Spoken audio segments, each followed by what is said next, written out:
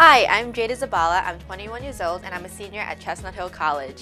I am majoring in communications and media with a psych minor and I spent last semester interning at Walt Disney World for the Disney College program.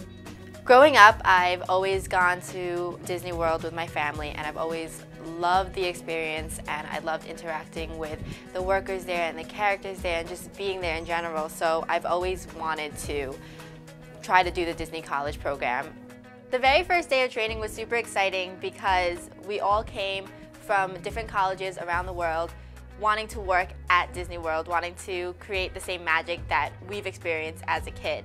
I think the best part about working at Disney World was being able to make other people happy and being able to make other people laugh, which I love doing so much. During my internship, some days I performed and some days I was an attendant with the characters.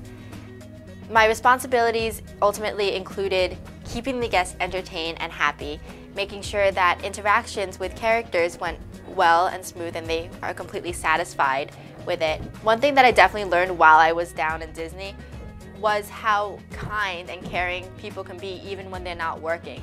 There are multiple times that I've seen or had guests come up to me, whether they were adults or children, and give me something that shows their appreciation, whether it's a little card that says thank you for making our vacation magical or thank you for all that you do. If you ever get the chance during a semester of your college career or even after you graduate, I highly recommend that you do even just try to apply for the Disney College program. You learn so much about so many people from around the world of all ages, from the people that you work with to the people that you interact with. It's truly a indescribable experience that I think anybody who's interested should at least try to go and do.